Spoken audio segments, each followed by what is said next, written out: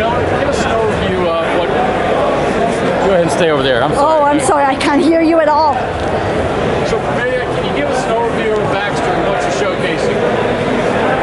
So what we have here is a collaborative robot from Rethink Robotics uh, called Baxter. The interesting thing about robots like this is that they're able to collaborate with humans uh, in an uncaged environment for various manufacturing type applications.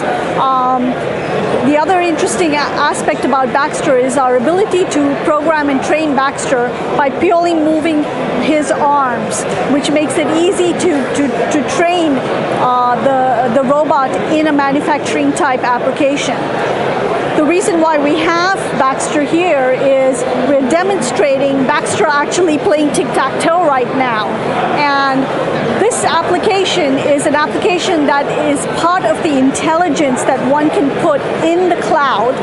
Um, so what we can do is we can take robotic intelligence, put it in the cloud, and essentially program Baxter to perform certain functions as well as extend the robotic capabilities of these types of uh, robots through applications in the cloud.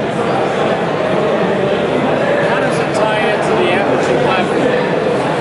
So the, the, these applications uh, of robotic intelligence in the cloud inter interact with enterprise applications. These enterprise applications all have APIs associated with them, as well as the robotic intelligence, which also has APIs. All these APIs have to work together in order to be able to maximize and leverage the robots in the field.